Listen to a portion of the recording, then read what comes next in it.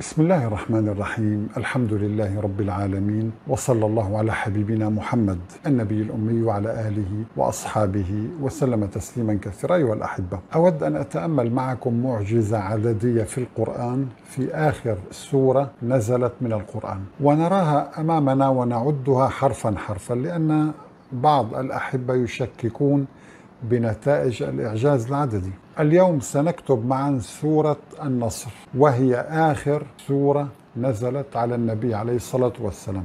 كان عمر هذا النبي 63 سنة. هذه السورة نزلت لتبين لنا أن أجل النبي قد اقترب وبعض الصحابة الكرام أدركوا هذا الأمر واعتبروا أن سورة النصر هي إشارة إلى أن هذه آخر سنة من السنوات التي سيعيشها النبي الثلاثة والستين. النبي عاش 63 سنة. والنبي اسمه في القرآن اسمه محمد رسول الله. هذا هو اسم النبي في القرآن. محمد رسول الله والذين معه أشداء على الكفار رحماء بينهم. هنا نحن قمنا بعد حروف محمد رسول الله. طبعا سنشرح الآن. فقط أنا أعطيكم الفكرة ثم نرى أمامنا حرفا حرفا نعد لكي نرى المعجزة تتجلى أمامنا أيها الأحبة. في كل القرآن القرآن يتألف من 114 سورة. عددنا حروف محمد رسول الله في كل القرآن في كل سور القرآن. هذه هي السورة الوحيدة التي عدد حروف محمد رسول الله فيها. نفس عمر النبي عندما نزلت عليه هذه السورة أي 63 عندما نزلت سورة النصر إذا جاء نصر الله والفتح ورأيت الناس يدخلون في دين الله أفواجا. فسبح بحمد ربك واستغفره إنه كان توابا. عندما نزلت نزلت هذه السورة كان عمر النبي 63 سنة. وبعدها نزلت آيات قليلة من القرآن ثم توفي وانتقل إلى الرفيق الأعلى صلى الله عليه وآله وسلم. إذا أنا الآن سأقوم بعد حروف محمد رسول الله في سورة الفتح في سورة النصر عفوا. دعونا نكتب هذه السورة أولا. يعني هنا نحن إذا كتبنا إذا جاء طبعا إذا جاء نصر الله والفتح. ورأيت الناس يدخلون في دين الله أفواجا. إذا هذه الآية الأولى الثانية الثالثة فسبح بحمد ربك واستغفره إنه كان توابا. صدق الله العظيم. إذا أيها الأحبة دعوني الآن. أنا لدي عبارة. العبارة هي محمد رسول الله. انظروا أيها الأحبة هنا إذا سمحتم. العبارة هي محمد رسول الله. طبعا أنا أريد أن أكتب بخط يعني أكثر وضوحا خط ربما يكون غير واضح. محمد رسول الله. انتبهوا معي أحبتي في الله أنا لدي هنا لدي هنا عبارة محمد رسول الله 12 حرف. لدي حرف الميم الحاء الميم الدال الراء السين الواو اللام الألف لام لام ها. نريد أن نعد كم حرف ميم؟ في سورة الفتح. ونضع تحت حرف الميم قيمة هذا الحرف. يعني القيمة العددية لحرف الميم كم؟ دعونا نعد حرف الميم ونحدد أينما وجدنا حرف ميم نقوم بتحديده. يعني هنا إذا جاء نصر الله والفتح ليس فيها ميم. ورأيت الناس يدخلون في دين الله أفواجا لا يوجد ميم. فسبح بحمد الميم هنا. إذا هذه أول ميم. فسبح بحمد ربك واستغفره إنه كان توابا. إذا لدينا ميم واحدة فقط. إذا جاء نصر الله والفتح ورأيت الناس يدخلون في دين الله أفواجا فسبح بحمد ربك واستغفره إنه كان توابا. إذا أنا هنا حرف الميم هنا أيها الأحبة. تأخذ الرقم واحد. ولدي هنا ميم أيضا تأخذ الرقم واحد. إذا هذه الميم واحد وهذه الميم واحد أيضا. الحاء انظروا أيها الأحبة إذا جاء نصر الله والفتح هذه أول حاء هنا هنا. إذا هذه أول حاء رقم واحد. ورأيت الناس يدخلون في دين الله أفواجا فسبح بحمدي إذا هذه الحاء هي الثانية وهذه الحاء الثالثة. إذا اثنين ثلاثة. واستغفره إنه كان توابا إذا أنا حرف الميم لدي هو ثلاثة حرف الحاء عفوا. محمد. الدال كم حرف؟ دعونا نعد. طبعا أنا يعني عددت هذا الكلام وأعرفه ولكن هناك من يعني يحب أن يرى بنفسه حرفا حرفا لنتأكد يعني. حرف الدال أحبتي في الله إذا جاء نصر الله والفتح ورأيت الناس يدخلون. هذا هو حرف الدال الأول. دعوني أستخدم لون آخر فقط لي, لي يعني آه يكون أمر أوضح. إذا يدخلون هنا رقمها واحد. هذا هو حرف الدال. في ديني الدال هنا اثنين. الله أفواجا فسبح بحمدي. الدال هنا ثلاثة. ربك واستغفره إنه كان توابا. إذا حرف الدال ذكر ثلاث مرات. حرف الدال ثلاث مرات في هذه السورة. نتابع. الراء كم مرة ذكر؟ دعونا نعد حرف الراء. إذا جاء نصر نصر واحد. يمكن نستخدم لون آخر هنا. نصر إذا هذه آه نصر هذا هو حرف الراء الأول هنا. الله والفتح. ورأيت الراء هنا رقمها اثنين. الناس يدخلون في دين الله أفواجا فسبح بحمد ربك. الراء هنا ثلاثة واستغفره الراء هنا أربعة إنه كان توابا. إذا إذا جاء نصر الله والفتح ورأيت الناس يدخلون في دين الله أفواجا فسبح بحمد ربك واستغفره إنه كان توابا. أربعة راء. إذا الراء أربعة هنا. الراء أربعة السين كم واحد؟ إذا جاء نصر الله والفتح ورأيت الناس إذا هذا حرف سين يدخلون في دين الله أفواجا فسبح هنا حرف سين رقم اثنين. بحمد ربك واستغفره. ثلاثة. إنه كان توابا إذا السين ثلاثة أيضا. مجموع السين في السورة كلها. ثلاثة أحرف فقط. حرف السين ذكر ثلاث مرات فقط. أيها الأحبة. طبعا نحن وضعنا برنامج إحصاء القرآن. يستطيع أي واحد أن يتأكد من هذه الحروف. آه لدينا هنا أيها الأحبة حرف الواو. سنعد كم حرف واو في السورة؟ إذا جاء نصر الله والفتح هذا رقم واحد. ورأيت اثنين. الناس يدخلون ثلاثة. إذا أصبح لدينا واحد. اثنان ثلاثة ثلاثة واو. في دين الله أفواجا. هنا أربعة. واو. أربعة. فسبح بحمد ربك واستغفره. إذا هنا خمسة. إنه كان توابا ستة. إذا حرف الواو تكرر ست مرات. طيب نضع هنا ستة. اللام كم مرة تكرر؟ دعونا نعد اللام بسرعة من دون أن نكتب الأرقام لأن اللام تكرر تقريبا سبع مرات. هنا أيها الأحبة إذا جاء نصر الله إذا اللام أولى واللام الثانية والفتح ثلاثة هنا اللام وهنا لامين ورأيت الناس اللام هنا رقمها أربعة يدخلون لام هنا خمسة. في دين الله ستة سبعة. أفواجا فسبح بحمد ربك واستغفره إنه كان توابا. إذا لدينا سبعة أحرف لام. إذا وهنا أيضا لدينا الله.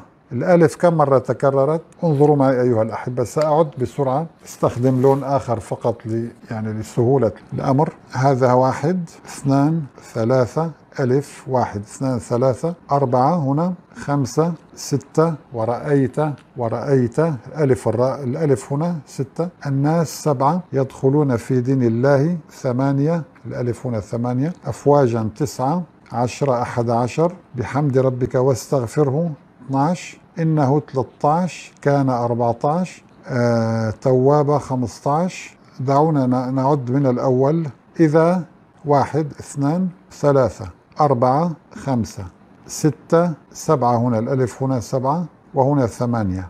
والألف هنا تسعة وهنا عشرة وهنا أحد عشر اثنى عشر وهنا 13 وهنا 14 15 16 17 إذا لدينا حرف الألف ذكر 17 مرة. وقلنا اللام كم مرة؟ اللام سبعة.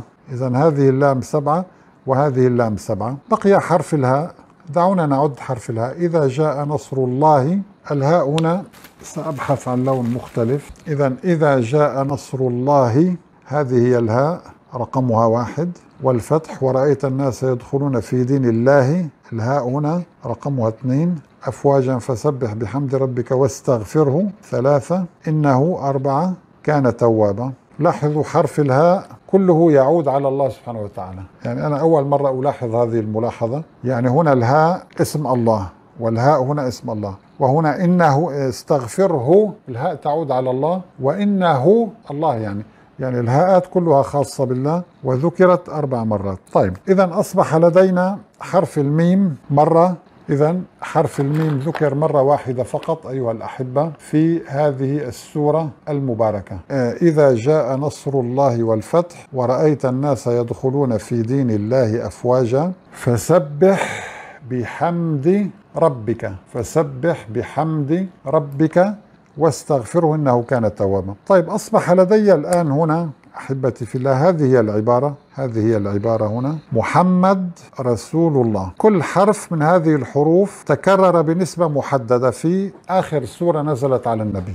طيب كم عدد هذه الحروف؟ حروف عبارة محمد رسول الله. إذا أيها الأحبة كل حرف من حروف محمد رسول الله تكرر في سورة النصر التي هي آخر سورة نزلت على النبي عليه الصلاة والسلام وعمره 63 سنة. تكررت بنسبة محددة. دعونا نجمع هذه الأرقام. آه واحد هنا طبعا هنا. واحد وثلاثة كم؟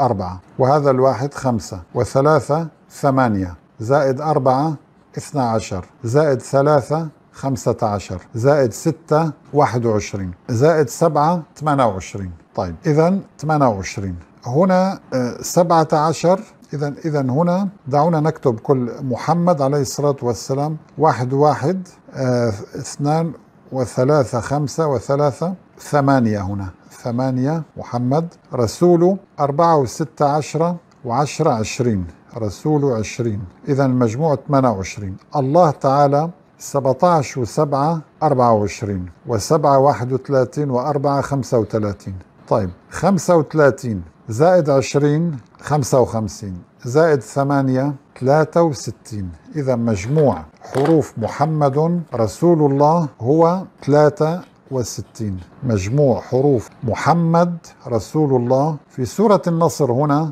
يساوي 63 طيب ما هو العدد 63 هو عمر النبي عندما نزلت عليه هذه السورة المباركة. إذا أيها الأحبة هنا عندما نرى كيف تتداخل الأرقام مع اللغة، يعني هذه السورة تقول للنبي عليه الصلاة والسلام: إذا جاء نصر الله والفتح، وبالفعل رأى الفتح ورأى النصر، ورأيت الناس يدخلون في دين الله أفواجا، اذا اكتمل الدين فسبح بحمد ربك، فكل الإضافات التي جاءت بعد النبي على هذا الدين لا أصل لها، انتهى. بنزول هذه السورة وبنزول آية اليوم أكملت لكم دينكم، وآخر آية نزلت واتقوا يوما ترجعون فيه إلى الله ثم توفى كل نفس ما كسبت وهم لا يظلمون. اكتمل الدين. فكل الروايات التي نسجت بعد موت النبي والأحداث كلها ليس لها أي قيمة أمام هذا القرآن لأنها أحداث تاريخية. هذا قتل هذا وهذا أخطأ بحق هذا. أنا لي ليست مهمتي. أنا الذي يعنيني كلام الله اليوم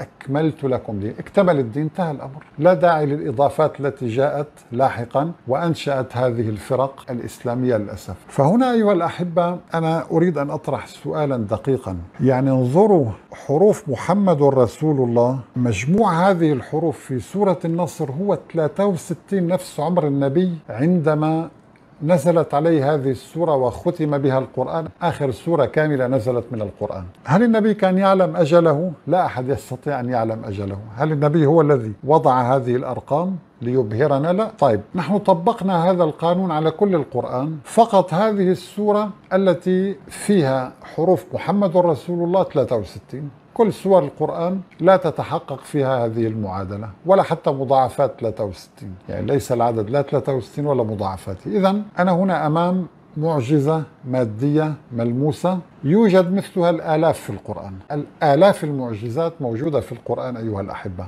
أختم بمعجزة يعني طبعا يصعب شرحها الآن ولكن بكلمات قليلة. نحن بحثنا عن حروف محمد في القرآن كله. أقصد في سور القرآن المئة وأربعة عشر. لم نجد إلا سورة محمد يكون فيها عدد حروف محمد مضاعفات 63 63 في ثمانية عدد أبواب الجنة. إذا يعني وفي سورة محمد لا, لا يذكر اسم محمد رسول الله مثلا يذكر اسم محمد فقط. آمنوا بما نزل على محمد فقط لا يوجد لقب. لذلك اسم محمد هنا آه، حروف محمد لو عددناها بنفس الطريقة نجد أنها تساوي 504 يعني 63 مضروبا في ثمانية. إذا عندما نرى بأن القرآن مليء بهذه المعجزات لابد أن ندرك أحبتي في الله أنه أولا لم يحرف وأن هذا القرآن وصلنا كما أنزله الله سبحانه وتعالى. والدين مكتمل لسنا بحاجة لرواية تاريخية وأكاذيب إلى آخره. نحن لدينا القرآن وفيه كل شيء